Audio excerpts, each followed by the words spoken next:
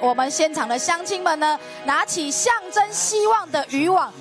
渔网台语叫希望哦，所以呢，我们今天在海区呢铺子这个地方呢，特别都是希望我们可以一起来宣誓食品安全的决心。食安五环点亮台湾，食安五环点亮台湾，食安五环点亮台湾。我们也给我们的蔡英文，有一个信心跟勇气，拼赢一月十六号的选战，来来化解来，蔡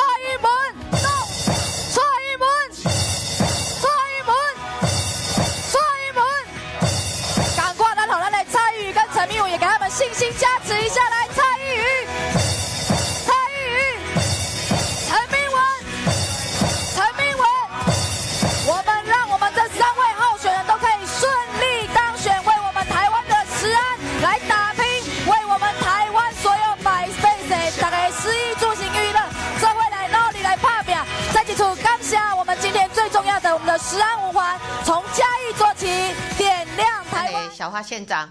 啊，即个咱的嘉义，咱两位咱的立委候选人，咱的陈明文委员，那么老馆长吼，啊蔡依瑜加油！啊，咱今日足欢喜的，咱的吴坤玉教授来跟我们一起来。啊，落车的时阵，才知影讲伊是嘉义人。啊嘛，就欢喜讲咱的吴玉琴，我们的另外一位不分区也是我们嘉义人。吼，那我今日伫遮。呃，咱今日是咱第三天诶，全台呃扫街拜票啊。今天呢，我们会在埔子呃跟呃新港在呃扫街。那我们呃在昨天也在嘉义呃举办的呃晚会，也有很多的我们的乡亲呢来给我们打气加油。那今天呃要开始扫街之前，我们这个记者会。我们把重点放在食安的问题上，主要的问题是因为这个食安是我们全台湾人最关切的事情。那么历来的调查都显示，就是说，呃，台湾人在这个阶段感到最不安心，也希望呃能够有所改革的地方，就是食品安全。所以在这个呃。这个前提之下呢，就我们在安排不分区立委的时候，我们有特别注意到说，我们能不能强化我们将来在立法院在食安问题上面的这个呃呃立法的呃能量。那么因此呢，我们就呃开始去请教呃林杰良医师的呃呃夫人呃谭敦慈女士。那么谭女士呢，在跟我们呃深谈了好几次之后呢，她郑重的向我们推荐我们的。呃，吴教授也就是将来我们的呃，应该叫吴委员了哈。那呃，我们呃真的很高兴，呃，觉得很荣幸哦。就是我们吴坤一教授愿意啊担任我们的不分区的立委。那更高兴的是，他愿意担任第一名的立委。第一名的立委的这个不分区立委压力很大的，你就是我们的招牌了哈。那呃，所以我们在这里要再一次的谢谢吴坤一教授愿意。呃，接受民进党的邀请，担任民进党不分区立委的第一名。那么同时呢，我相信将来进入立法院之后，我们立面的党团也好，或者我们的立法院也好，都会呃把很多很多专业的这些问题呢，来向我们吴坤义教授请教。那我们也非常期待吴坤义教授在将来的立法院里面可以领导呃在食安议题上面的这些立法问题的处理。那么刚才吴坤义教授也讲到，我们在这一次大选很早的时候，我们就提出来的“十安五环”的呃“十安”的政策。那刚才呃吴教授已经把这个“十安五环”大致跟各位报告过。不过“十安五五环”有人可以用台语把它讲的那么完整，真的还是第一个呃第一次听到吴坤玉教授有这样的功力哈。那在这里呢，我还要特别谢谢我们嘉义县哈，这里是农业大县哈，也是观光大县哈。那我们嘉义县的呃彰化关县长小花县长哈，对食安的问题是特别特别的重视哈。那也希望就是说，因为强化了我们食安的管理，让我们嘉义的很多的农产品、很多的茶叶等等，可以在台湾甚至于在呃。全世界能够行销的更好，让消费者更有信心哦。所以呃，我们小花县长即将要推动这个食安大楼这件事情哦，那他在里面会设置一个公正的食安认证法人机构，来建立更严格、更进步的食安的标准哈。那我也知道说，我们嘉义县现在正要推动茶叶的分级呃标准啊，要把阿里山的乌龙茶的生产履历发展起来。那也希望能够推动到其他的农产品。那小花县长曾经说过，他说没有产地的良心就没有食品安全。那么将来我们会全力的来支持嘉义，也会全力的支持台湾各县市的县市长在呃食品安全上面的努力。那我们也期待，就说嘉义县在这个地方，呃，尤其是食安方面呢，可以做我们全台的领头羊。那么在我们呃。大选已经剩下五天的时刻，在这里开记者会，总难免要呼吁一下我们嘉义的乡亲，在最后的这个阶段，呃，可以替我们争取到更多的支持跟更多的选票。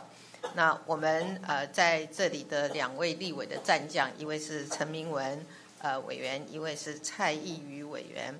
那陈明委员就是大家都很熟了啦，好。还要再继续介绍吗？好，大家看看他就好，因为他家大家都很熟了哈。那嗯，好，下贼。另外一个需要介绍比较多，就是我们参与于，呃，我们的呃海线的呃呃立法委员候选人。那大家好，台湾大学法律系毕业的哦，是个律师。那充满了正义感。那你不要看他这样胖胖的哦，他是我们呃是年轻世代里面非常非常有理想性的。那呃每一次的年轻人的在街头或者在台湾的各地所发动的这些运动呢，都可以看到我们参与的影子。也就是说，它代表了我们的新时代对于这个社会改革的一个很大的一个动力的来源，也是一个。呃，我们希望新的时代可以参与，呃，台湾在下个阶段能够有一个新的发展的一个呃开始，所以我们呃非常期待在海线，我们蔡依瑜这次可以过关，上一次差一点点，这一次我们希望他能够过关，让我们呃整个呃嘉义的这个建设可以在两位立委在立法院的强力推动下，可以更。能够有足够的资源跟呃更足够的中央的这种呃协助哦，让我们的呃嘉义的发展能够更好。那今天蔡依瑜站在这里，其实有一个很重要的原因，也就是说，呃，当选举已经进入最后阶段的时候，我们看到的买票、听到的买票的传闻是不断，尤其是在蔡依瑜的选区。今天蔡依瑜站在这里，就是提醒台湾人民，现在买票。贿选正在发生当中，那选举买票是用金钱来左右人民的这种意志，这是一个成熟的民主社会里面是不应该有的，而且应该要被禁绝的一种现象跟事情。那么现在我们离这个选举还差五天，可是我们的贿选却越来越严重。那么特别是在嘉义县这里，尤其是在海县这里哦，过去几个礼拜。接连国民党的选举干部因为替候选人买票被调查，甚至被收押。无论我们看这个点调跟司法单位再如何积极的呃查会啊，这个贿选的状况却越来越令人担心，那么也层出不穷。那这背后的原因其实很简单，也就是背后的这个政党对于阻止贿选毫无决心。甚至于形同纵容。那么朱主席呃，在过去的这段期间，面对他们的党籍的干部，甚呃陆续被调查贿选的事情，他呃一再的回避，甚至于还指控民进党抹黑，这是一种不负责任的态度，非常的令人难以理解。那么在这里，我要向国人同胞做出一个呼吁，请大家一起拒绝贿选。共同用选票来拒绝买票的政党，让台湾的买票文化在这一次的选举里面画上句点。同时，我要再一次的提醒朱主席，这么多的贿选的个案，绝大部分都跟国民党有关。朱主席如果真的要有决心改革，就应该一定要强力的去约束国民党的候选人，不要再用抹黑来回避这个问题。那么，全国人民正睁大眼睛看着朱主席以及国民党如何来面对，如何来处理这呃这一这段时间以来，甚至正在进行中的很多的贿选的传闻跟贿选的事件。那我们也正在看国民党跟朱主席有多大的改革的意志跟决心。谢谢，谢谢大家。感谢我们的蔡英文主席。